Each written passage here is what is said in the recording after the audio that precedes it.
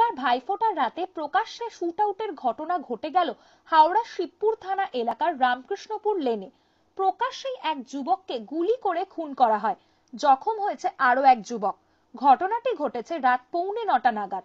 Police সূত্রে জানা গেছে, শিবপুর থানা এলাকার পিএম বস্তির বাসিন্দা সাহিল আহমেদ এদিন আর এক যুবকের সঙ্গে রামকৃষ্ণপুর লেন দিয়ে বাইকে চেপে যাচ্ছিলেন। তখনই আচমকা কয়েকজন দুষ্কৃতী পয়েন্ট ব্ল্যাঙ্ক রেঞ্জ থেকে তাকে লক্ষ্য করে গুলি করে। সাহিলের মাথায় এবং শরীরের বিভিন্ন জায়গায় আঘাত লাগে। এলোপাথারি প্রায় তিন রাউন্ড গুলি চালায় দুষ্কৃতীরা।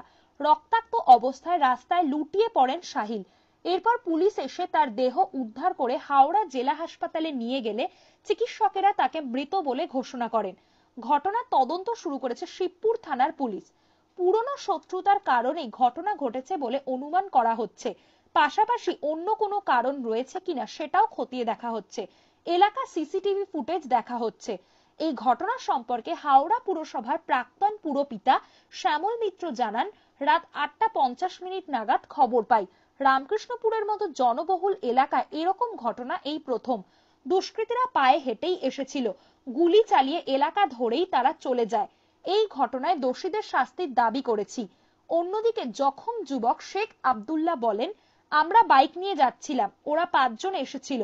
চারজনকে দেখেছি তাদের মধ্যে ছিল সাহেব আলম সাদ্দাম গ্যারা আর আক্তার। ওরাই গুলি চালিয়েছিল।